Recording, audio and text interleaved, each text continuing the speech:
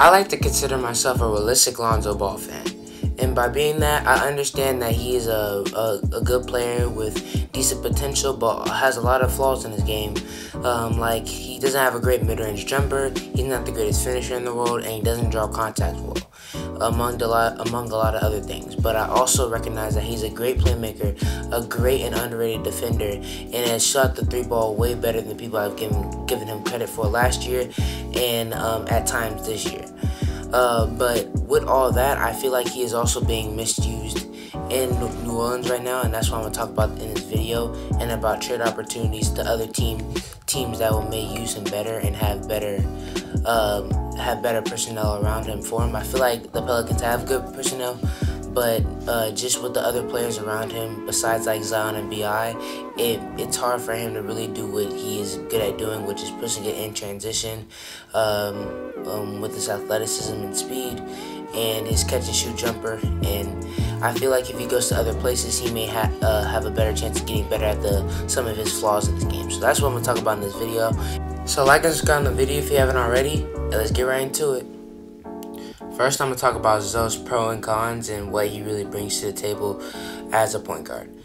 Um, I feel like his two biggest traits and two biggest skills is that he's just a 3 and D point guard that can knock down the three and that can play a really good defense on the uh, other side of the ball. And those are really two valuable things to have. And he's a bigger point guard, which brings versatility, which is also a really good thing to have, which is why he fits with a lot of these teams because he can guard ones and twos and maybe a couple threes because of his height and his wingspan and his athleticism. So uh, on both, uh, especially on the defensive side of the ball, he brings a lot of versatility with his height and athleticism. So that is probably his two uh, biggest traits, uh, his two biggest skills besides his playmaking. And obviously his playmaking, especially in transition, is, is insane because of how quick and fast he is and how good his vision is and how good he sees the game. But in the half court, it's not as good because he just he's not um, a big threat to shoot off the dribble, which makes his threat to pass not as good. So that's why he's not a very good playmaker, um, especially this year in the half court. But I feel like if he has better, a lot of better weapons around him, especially that can shoot, because Zion is really just um, a rim threat. He is not a threat to shoot whatsoever. So maybe if he gets better as a threat to shoot and the people around him are, are a better threat to shoot like on the Clippers or some other teams that uh, he is rumored to maybe get traded to, maybe his playmaking in the half court is better than it is right now with the Pelicans. The reason why also I think Lonzo's not playing well is because he's being misused with the Pelicans instead of Van Gundy. I feel like he was even used better with Gentry, but Gundy just makes him. It looks like it makes him play slower and takes the ball out of his hands and does it makes him a catch and shoot player, which he isn't at all. Although I did say he's a decent three and D player, his three point shot is obviously not his best his best trait, his best skill. He's had to work on it a lot to even be decent, but it's not his best skill. He needs to have the ball in his hands, uh, at least a little bit when Brandon Ingram and Zion don't have it to play make and do what he does, and that's what really shows his value. But if you're gonna put him in the corner, have Eric Bledsoe have the ball, and Eric is not even close to being as good as a playmaker as him, it really doesn't make any sense. And you're making, like I said earlier, you're making him play slow as well. So you're taking the ball out of his hands, and you don't you don't really ha- have him doing well in transition either. Even even last year, at least Alvin Gentry uh, had him in Zion in transition a lot. At least that Gentry wasn't a great coach, but at least he he knew that Zion is a great athlete and is and is he's an insane athlete, not a great athlete. He's a once in a generation athlete, and Lonzo is a great playmaker and is great um uh great playmaker, great passer. He has a great mind and those two work really well together, especially if you have a great playmaker that's really athletic, just like Lonzo. So I just feel like Gundy hasn't used that at all this year. If Lonzo isn't rebounding and chucking it, it just seems like he's not playing as fast as, as he as he did last year. Even though Gentry didn't use him to his best of his abilities, he he used him decently. So I feel like Stan Van Gundy is another big problem, and also I feel like another problem is just the the spacing is terrible, and that's also hurting Lonzo. It's hurting Zion and Bi as well, but it's making Lonzo a catch and shoot player because they just need some type of three point shot. They need some type of three point ability in the lineup. And when you have Steven Adams and you don't have Zion at the five, then Lonzo and Eric Bledsoe are, are supposed to be your two catch and shoot catch and shoot players when the starters are in, and that's never good.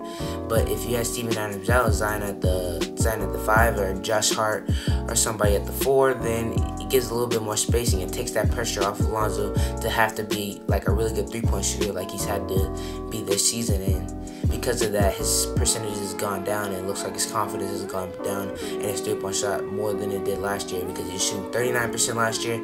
He's shooting just at 30% this year. So you can see that something's happening, something's wrong. He he's looked at to be more of a catch and shoot player than he's really supposed to be, and he needs the ball in his hands a little bit more often. Now I'm gonna talk about some teams that I think Lonzo, if Lonzo got traded to, he'd make a very good impact on, and it'd be a, a, valuable trade for that team to make. Now the first team I got up is the Chicago Bulls, and the reason why I feel like the Chicago Bulls would be a great place for Lonzo Ball is because they don't have a really good playmaker in the backcourt or a good perimeter defender in the backcourt, and that's the two things that Lonzo is the best at. And if you had Coby White in a six man six man role, uh, playing just as much minutes as Lonzo and being that scorer that he really is, that's a really good role for Coby White, and I like that for him. And Lonzo and Zach LaVine in the backcourt, you let Zach LaVine do his thing, you let Lonzo play make and defend, and you let him defend your best player. And you can take out Zach LaVine and put Coby White in, inside Lonzo to this too, and he still guards your best player, but Coby White's the one doing the scoring, and Lonzo's still the one doing the playmaking. I feel like that can be a really good three guard trio, and maybe they can do a little something like the Thunder did last year with Shai uh, Chris Paul and Dennis Schroeder and have that three guard lineup at the end of the game, so you're not um, so you're not missing out on one of your best players on the team just because they come off the bench like Dennis Schroeder did last year. So I feel like if the Chicago Bulls traded for Lonzo Ball, that'd be a really good um, that'd be a really good uh, match because of the playmaking and perimeter perimeter defense are lacking in the backcourt. Next person I got up is Lonzo to the Knicks, and I feel like Elfrid Payton is just not a very good point uh, starting point guard in the league, and I feel like Lonzo would do way better in that role. Um, he's a little bit more of a scoring threat than Elfrid Payton is, and more, a little bit more confident in his jump shot, and is also a better playmaker and better in transition with Julius Randle, R.J. Barrett, Mitchell Robinson. That can be really good, and that defensive that defensive starting lineup will be even more insane than it already is because of the length that Lonzo brings. But I feel like the Knicks are doing really good. Chicago Bulls, I feel like would need a player like Lonzo. I don't feel like the Knicks need Lonzo because the Knicks are doing really good, really good defensive lineup. But I just feel like Lonzo's an upgrade to Elfrid for Payton, and maybe they can be a low key playoff team if they got Lonzo. But I don't think it's that big of a deal if they don't. I feel like this is like the team that I just like to see Lonzo on, but I just don't really think would happen because they're doing better than expected this year. And Elfrid Payton is fine, and Immanuel Quickley I made a video on him last a couple days ago, and he's the looks like he's a future guard for this team. So probably not the best fit, probably not the best prediction, but I feel like I wanted to talk about them because it'd be a really good fit. And I just, for Payton's doing fine. He's serviceable. So if they don't want to mess anything up, mess chemistry up, and get somebody that's really good for the locker room or something that, like that out of town, I respect that. And Elfrid Payton will be just fine because Julius Randle and RJ Barrett are the stars of the show right now. The last team I think Lonzo would be really good for is the Los Angeles Clippers. And that's just because I just feel like they need another level of playmaking on that team, and they really haven't had a true point guard in this Paul George Kawhi Leonard era because Patrick Beverley just isn't that guy. He's a great defender, great leader, decent catch and shoot, a three point shooter, but he's just not a good playmaker. He's not good at setting players up. He's more of a, a sitting the corner guy on offense and give his heart out on defense. I feel like Lonzo can be a more valuable offensive player than Patrick Beverley, but I don't think he'll take Patrick Beverley's spot. I feel like Patrick Beverley can keep doing what he's doing, and you should slide in Lonzo at the two, but really at the one, but at the two because Patrick Beverley's shorter. You have Paul George at the three, Kawhi at the four, and Serge Ibaka at the five, with Batum with Batum, Williams, if you don't trade him, if you trade Kennard instead, but probably you trade Williams. So Kennard, Morris, and Batum off the bench as their best players off the bench. I feel like that's a good team because it just brings another level of defense. And now Paul George can fo- focus on offense even more because those lengthy shooting guards, those taller shooting guards that Patrick Beverley really can't guard because of his height, and give that assignment to Lonzo. Now Paul George can focus on focus on offense even more than he already is. You you uh, instead of Paul George have, having to play make for Kawhi and Kawhi having to play make for Paul George, you could have them both uh, getting set up by Lonzo, and I feel like that's a really, really perfect uh, situation for Lonzo Ball in a winning situation finally, and it'd be really cool to see him succeed if he went to the Los Angeles Clippers because I feel like he can be a really good playmaker and just a, successful defender in, in that uh, culture with the Los Angeles Clippers. They're on a roll right now and, and, they look like a really good team. They're underrated because of what happened last year.